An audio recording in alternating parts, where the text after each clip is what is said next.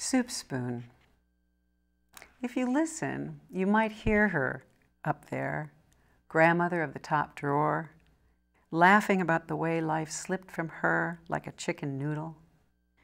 In another time, she was the bright eyed floozy of the dining room, but her heart was too big.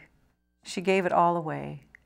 Now she spends long hours in the crumb lined corner, remembering her days with the Delft blue plate, how they ran away together and caused such a stir, the cook jumped over the moon.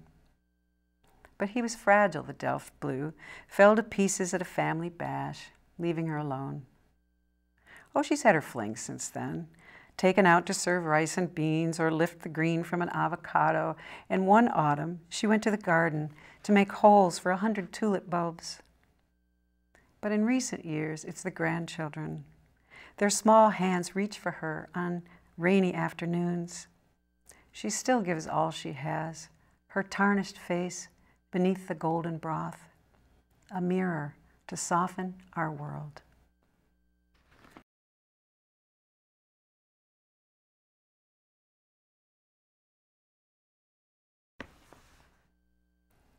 Magdalene faces the tribunal of quantifiable evidence and measurable outcomes. Magdalene speaks. Yes, it is possible, I suppose, that he hypnotized us, and we only imagined ourselves in those silent depths. That he tricked our minds into peace and our bodies into ease, created the illusion that we were whole. And yes, perhaps we merely felt as if we were loved, with abandon. He smelled like rain, and his voice made my bones hum like a thousand dulcimers. Yes, it was probably an imaginary wind that brought us to his feet and blew us back into lives that are now somehow on fire. And I suppose one could make the case that he faked the whole thing that he was just like the rest of us, lost, tiny as a grain of rice in a bubbling kettle of stars. He may have only brought laughter to our days and dancing to our feet, only made it seem a blessing to be alive. No, sirs, I have nothing to show. None of us got rich or made ourselves a name. But I often find my pillow is wet when I wake in the night and think of him.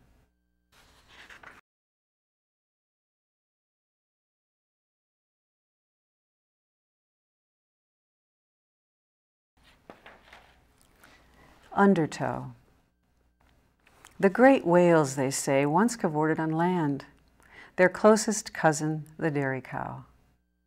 But these homesick bovines waddled back to the sea, foreleg morphing to fin, hind leg to fluke.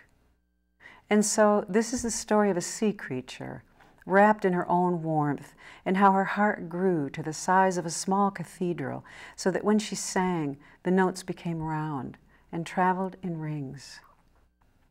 But first, this is the story of a cow, heavy with barley and wheat, fed up with gravity and heat, about the call she barely heard in the murmur of the sea, how her wobbly legs seemed to carry her on their own, gingering down over boulder and shale to the shore.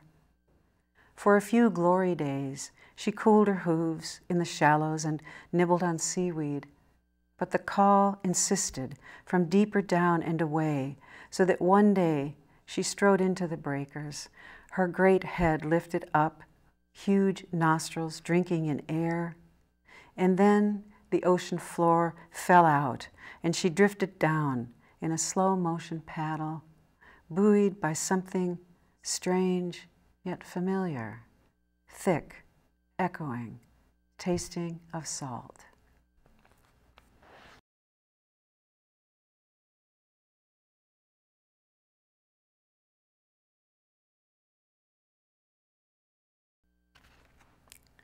Juvenile Hall. Giovanni is not in poetry class today. He's in lockup, chants my wayward Greek chorus, and for a moment he's conjured up out of the hole. Standing there in his orange sweats, all 17 years, six and a half feet of him, cockeyed grin, incandescent globe of hair, hands dangling like shoes tossed over a telephone wire. Funny how the Freedom Riders always gallop full steam into lockup. The ones whose poetry we love, who can turn the sky into rainbow trout, serve it up with a hot sauce of snow. Funny how his presence tastes more like wind than a room with no mattress or windows, more like a gust of laughter, so sweet and clear, even the guards close their eyes to hear.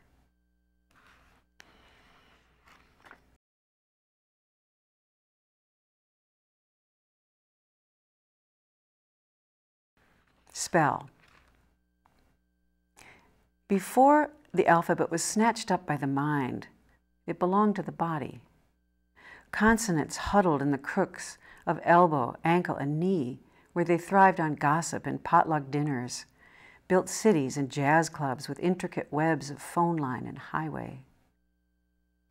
But the vowels, moon driven and drunk on the sound of their own voices, lived alone in the hollows and caves. Oh, the emperor of solitude built his hut in the dome of the belly. With wingspan and vision of an eagle, I made his nest in the brows. You, the hermit thrush, hid her rubies in the isthmus of the throat, and the lioness E staked claims on the mouth, raising her cubs in intermittent light. But it was A, wild and lovely, who holed up in the heart, caught in the spell of awe, in the awe of awaiting, of awkward and aflame, in the nearly inaudible awe of being folded into the arms of the lover without a face.